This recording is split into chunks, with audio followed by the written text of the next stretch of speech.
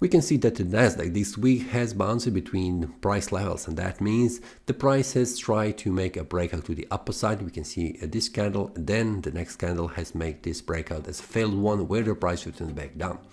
Immediately with this move, when the price has moved down, the price has made a bearish breakout where we can see on the Thursday the price has cancelled this bearish breakout making this one as a failed one. So we can see on the Friday the candle after making a bullish breakout, the price has confirmed this bullish breakout is valid one where the price did not return back down, but it has bounced from this support level and it has closed very uh, on a very high price level, even moving even higher at 17681, which is all uh, at this moment all-time high. Now let's go to the weekly time frame and we'll see that this week has ended as a bullish week and also we can see it is a strong bullish candle body. On the monthly time frame, the previous month has closed as a bullish one where we can see that the prices continue to rise in value even more.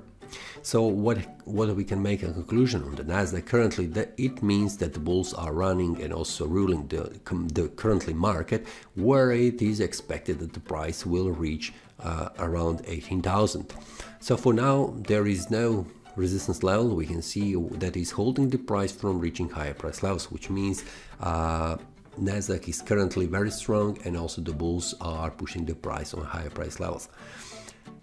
This is all. This currently here is uh, also some kind of a bullish breakout to the upside, and you can see that the prices continue to rise in value. There is no return currently, but we have the whole month and, uh, to see the price turning back down, confirm this bullish breakout as a valid one, or making this one as a failed one. So before making any conclusions, currently on the monthly time frame, it is the best to move on the lower time frame, on the weekly and also daily. On the daily, we can on the weekly, we can see that the price did not return back down, uh, canceling this strong bullish movement, but it has continued to rise in value. So for now, as it looks, uh, it is expected that the price will try uh, to move to the higher price levels.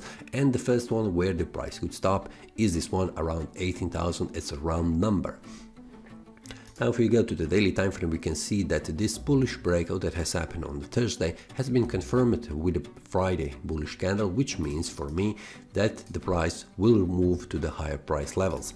And that means the first stop is 18,000. Is there any kind of a smaller resistance that will prevent the price from reaching high price levels? That depends.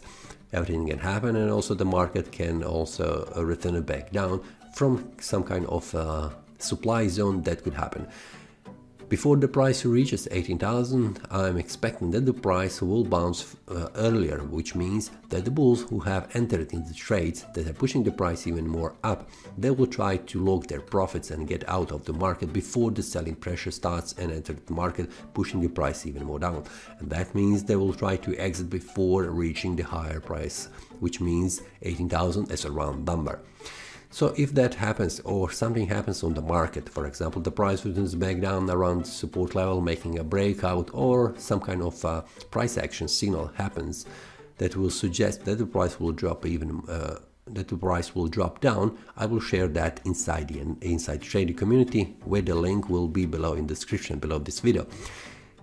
If you would like to check that and also check the daily analysis when something happens on the market, feel free to check that and see you inside. Happy trading! That is all from today's analysis. I hope you enjoyed. If you have any question, feel free to leave a comment. If you like the analysis, click the like button and subscribe. See you next time and a happy trading!